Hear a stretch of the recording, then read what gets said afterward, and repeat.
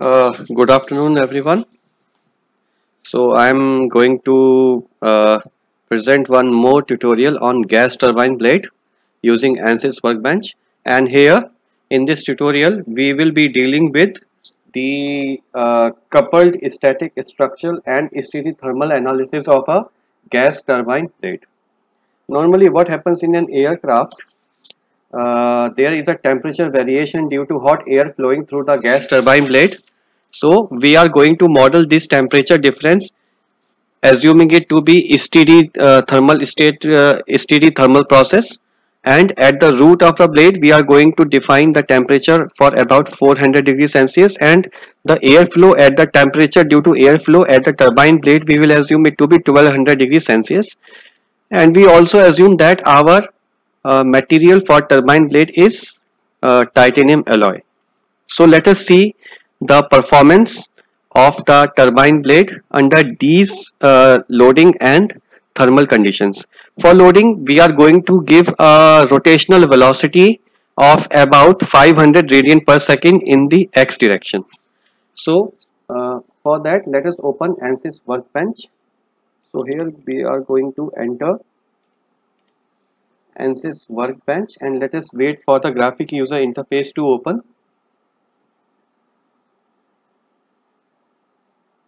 Now, in order to do this coupled analysis, we will first do a basic static structure analysis of a gas turbine blade made up of titanium alloy.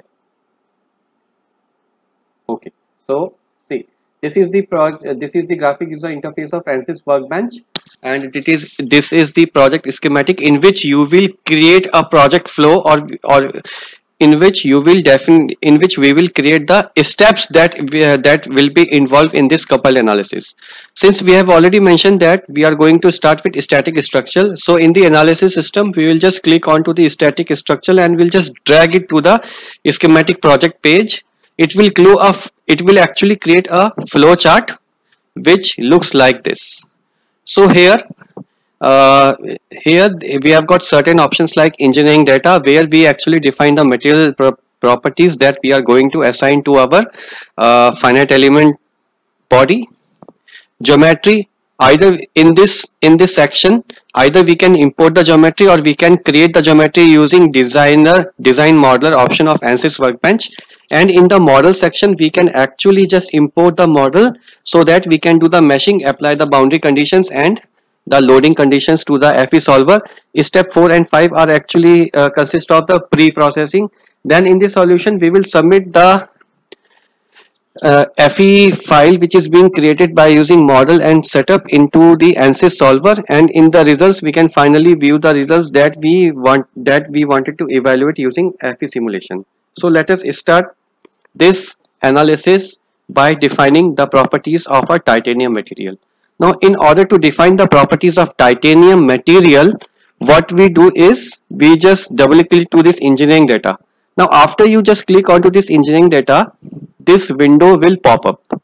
Now in order to go see and ANSYS workbench has actually got a variety of material models so later on in the later uh, tutorials we are just going we will be talking about the various materials right now we are just interested only in defining the titanium alloy so we just go to engineering data sources.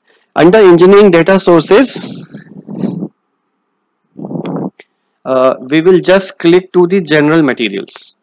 Now in the general material section, uh, this the uh, second column will actually give us the type of a general materials which are already defined in uh, ANSYS workbench. So here is a titanium alloy. If you just click to the titanium alloy, so there are the properties of the titanium alloy so in order to add this to the project database we'll just click to this plus sign now a book symbol has been pop up like this which means that the titanium alloy material has been added to our project now we'll just go back to the project and the next step is to import the turbine geometry so we'll just import turbine geometry like this now a tick mark sign has been popped up here which means that the geometry is now ready to import in the design modeler of ANSYS workbench.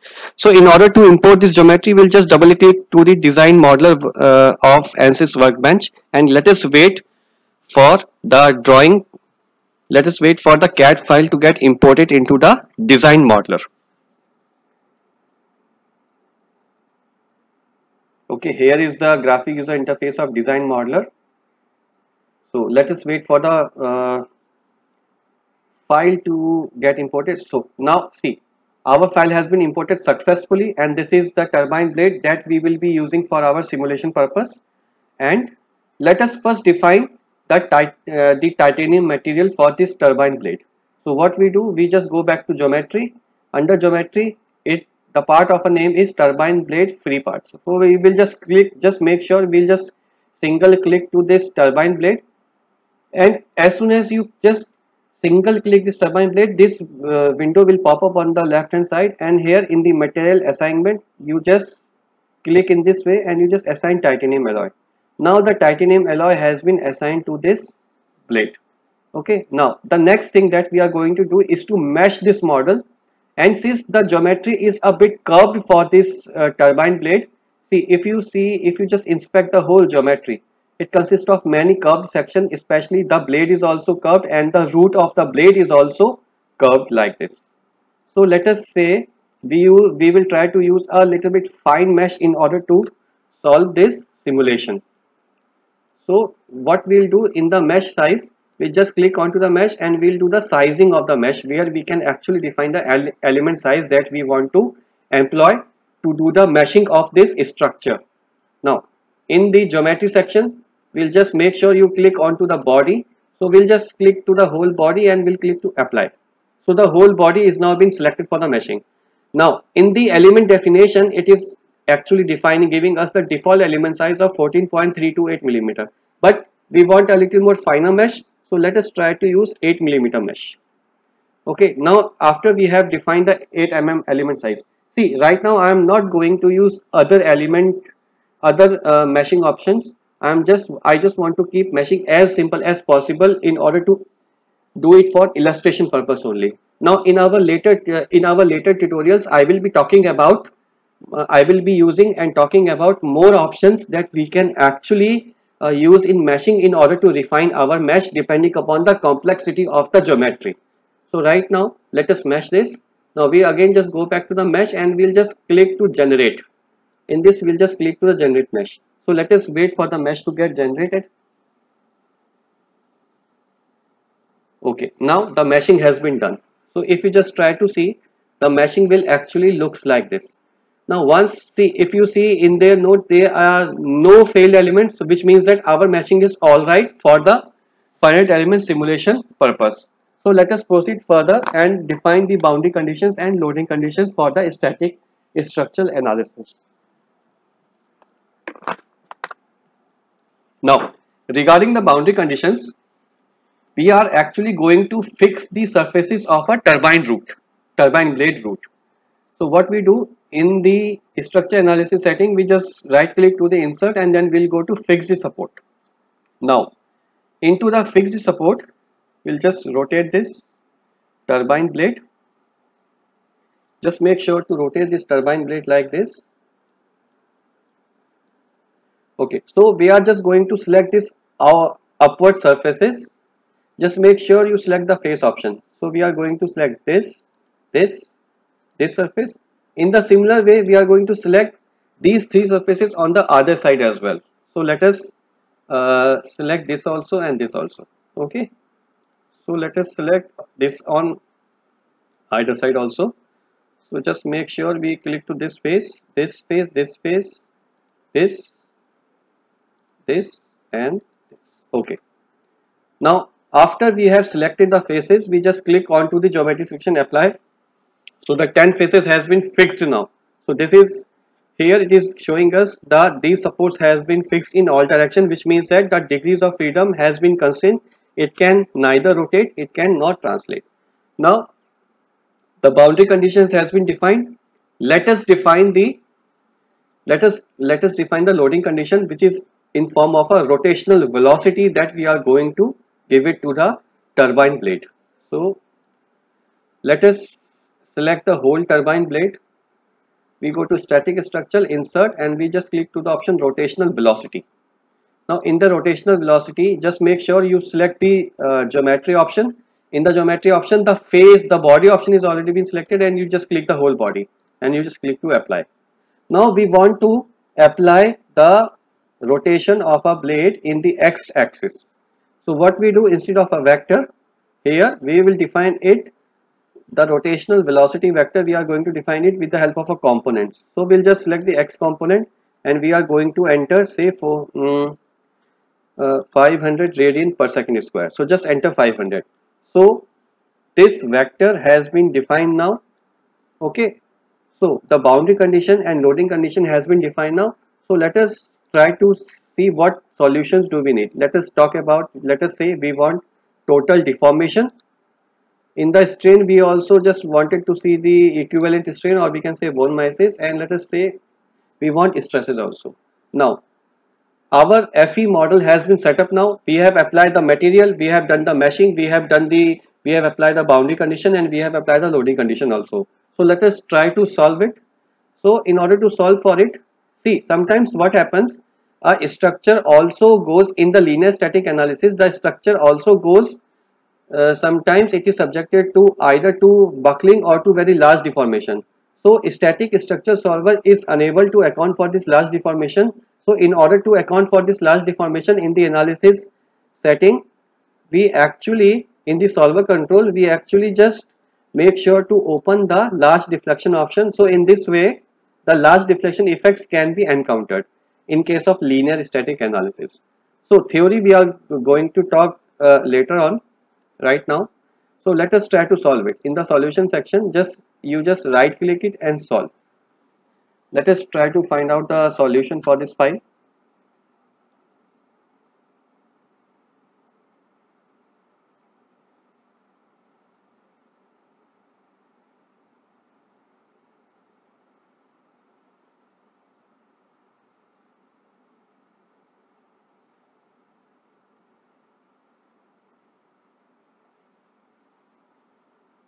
So finally, uh, just ignore this warning because here we have used actually iterative solver instead of a direct solver.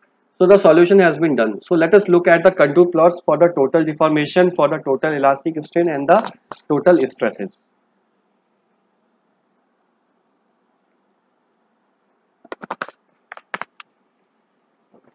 Okay, so let us click on total deformation. So this is how a total deformation is taking place. This is a total uh, this is a strain distribution and this is a stress distribution. So just wanted to if we want to see the maximum deformation is 1.99 millimeter and the average is about 0.45303 so if we just want to see how this will actually looks like so let us simulate it. Just let us animate it. So is this how actually the blade turbine turbine blade will be responding. Okay so let us see the equivalent strain also the variation of strains. It is actually happening like this. It is rotating about x-axis. See you can give rotational velocity also about z-axis also. So it depends what component you want to take. So this is how the stresses are actually varying. So this is actually within the elastic limits. If you see because the major portion is going green in color so the maximum stresses is coming out to be around 251.96 megapascal. Okay so we have done with the uh, static analysis. Now since we have done with the static analysis let us try to do the steady thermal analysis of the same turbine blade so what we will be assuming that see since the turbine blade is since the turbine blade we have assumed to be made up of titanium material see in the real applications of a turbine blade in uh, for example in aircraft the turbine blade and the root is actually subjected to hot airflow from the compressor. Or we can say the air is actually compressed at a very higher high elevated temperature. Normally the temperature distribution the temperature distribution to which the root of a turbine blade is subjected to is about 300 to 350 degrees Celsius and due to the hot air flow over the turbine blade the maximum temperature that can reach is up to about 1000 to 1100 degrees Celsius. So let us define the same temperature gradient or we can say let us define the same temperature conditions and let us try to assess the performance of this turbine blade. Okay. Now, in order to do this static uh, steady thermal analysis what we do? We just go to steady state thermal and you just drag it and just try to connect it with the help of structure analysis in this way.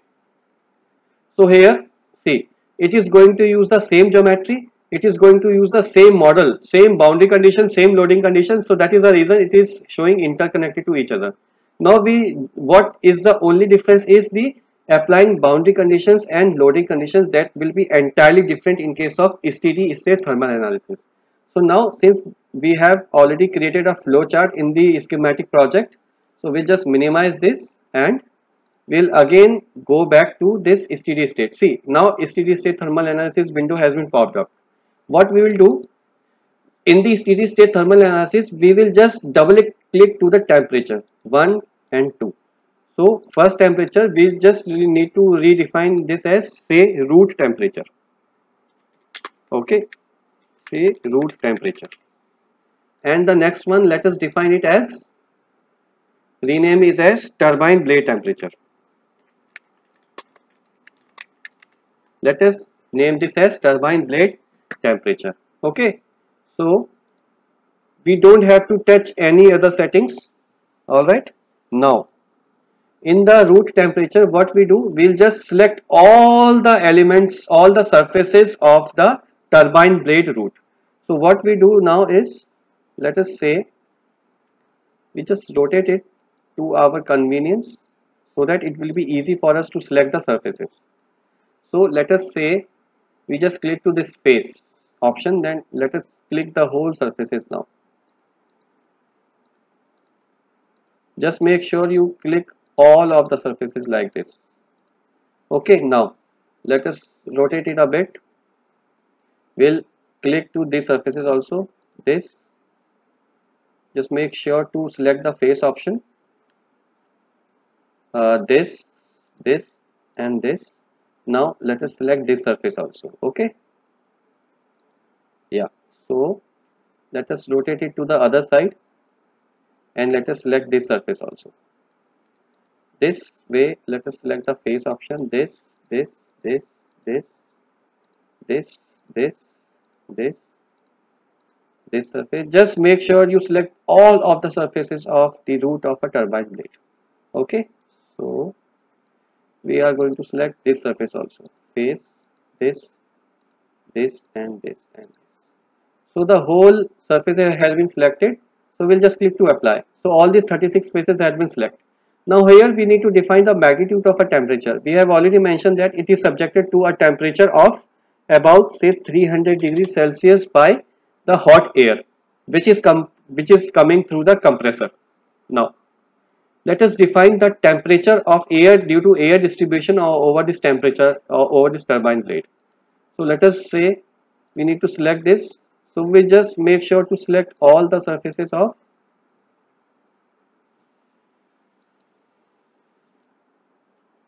of turbine blade. So let us rotate it to other side also for our own convenience. And let us say this. And let us select this surface also. So the turbine blade the surfaces of the turbine blade has been selected. So let us say nine faces has been selected. So let us define a temperature of about 1200 degrees celsius. See the melting point of titanium alloy is about 1680 degrees celsius. So 1200 degrees celsius is a bit okay to define as a temperature distribution now, we have defined the temperature distribution across the turbine root and across the turbine blade due to the hot air flow. So, let us try to see what will be the total heat flux and uh, what will be the total directional heat flux due to this. So, let us try to uh, look out into temperature distribution also. Okay. So, now all the things in the steady state thermal has been defined. So, let us solve this file now.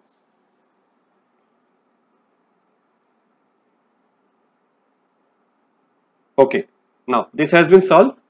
So let us uh, make it to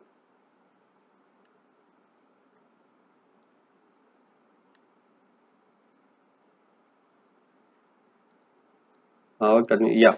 So let us see what will be the total heat flux.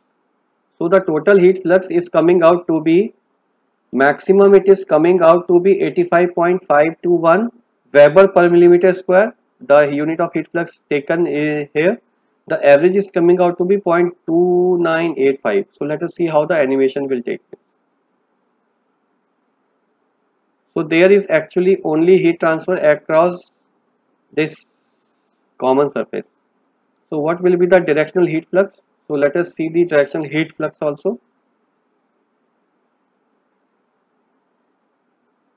okay if you want to model the airflow also you can model it.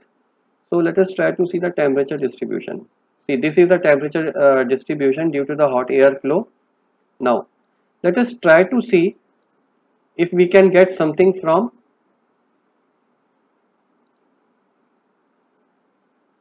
uh, root temperature is about 300 okay fine. So this is how we can actually model the temperature uh, distribution like this. Okay? So this is the tutorial about this is the tutorial of a turbine blade about a coupled static structure and a steady state thermal analysis. So in the uh, coming days i will be posting a coupled analysis